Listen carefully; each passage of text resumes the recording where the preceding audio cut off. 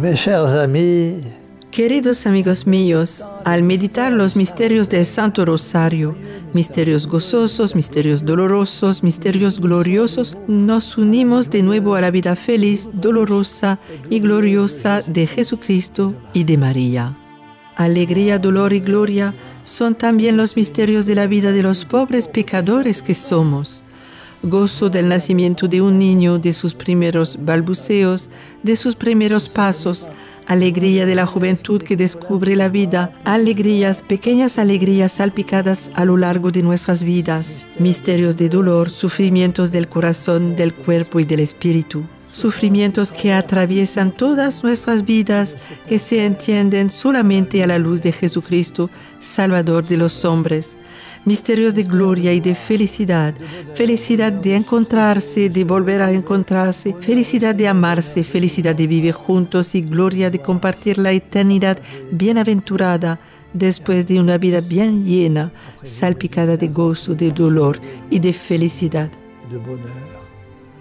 Al meditar los misterios del Santo Rosario, queridos amigos míos, hemos de que reflexionar y unir nuestras vidas a la de Jesús, María y José. No hay nada mejor por un cristiano que vivir su vida unida en la alegría, en el dolor o en la felicidad, en la más íntima unión posible con Jesús, con María, con José. Queridos amigos míos, la Santísima Virgen María en sus apariciones nos encomienda con insistencia que recemos con el Santo Rosario en la mano. ¿Por qué esta expresión en la mano? Es para que recemos el Santo Rosario visiblemente y sin respeto humano a fin de que seamos primero testigos de la vida, de la muerte y de la resurrección de Cristo. Segundo, que por esto mismo seamos protegidos del espíritu del mundo que quiere perder nuestras almas.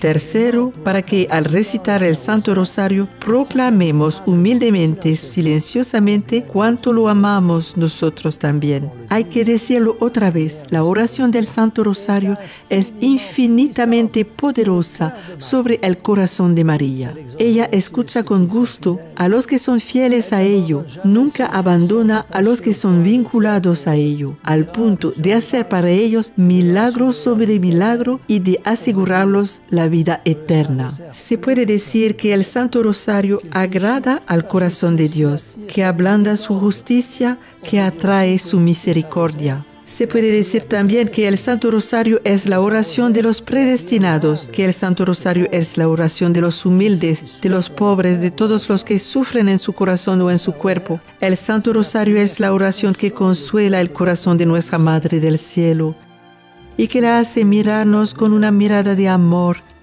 e iluminar su rostro con una sonrisa de ternura tan maternal.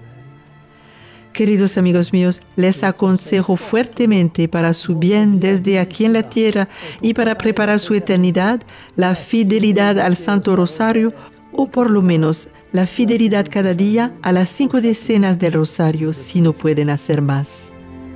Nadie entre ustedes puede decirme razonablemente que no tiene 15 minutos en un día para consagrarlos a la recitación del rosario. ¿Cuánto tiempo perdemos en nuestros días, amigos míos? Y sobre todo ante la televisión o el Internet que son tan malos aconsejadores. Hace algunas décadas, aun cuando ni la televisión ni el Internet habían invadido todos los hogares, toda la sociedad, las familias se reunían todavía por la oración de la noche y algunas por la recitación del rosario. En adelante constatamos con gran tristeza en que, que en detrimento de las almas, la televisión y el Internet han tomado el sitio de la oración, de esta oración que es indispensable e incluso que es vital para regenerar nuestras almas y asegurar nuestra vida eterna. Queridos amigos míos, en nombre del Cristo Salvador, que durante tres horas, tres horas sobre la cruz ha agonizado para salvarnos, en nombre de los dolores infinitos de la Madre de Jesucristo de pie cerca de la cruz, les pido de todo corazón y en su nombre bendito, que tomen de nuevo la oración, sobre todo la oración del Santo Rosario, porque lo sé lo siento porque soy persuadido y convencido que es con el Santo Rosario que atravesaremos estos tiempos difíciles y a veces insostenibles para algunos y que obtendrán tantas y tantas gracias y la gracia suprema de la vida eterna y bienaventurada y gloriosa. Por esta razón todos juntos elevemos nuestras almas hacia el cielo y digamos, Oh María, Madre al corazón doloroso e inmaculado, sálvanos. Y la bendición del Dios Todopoderoso, Padre, Hijo y Espíritu Santo, descienda y permanezca sobre todos ustedes para siempre. Amén.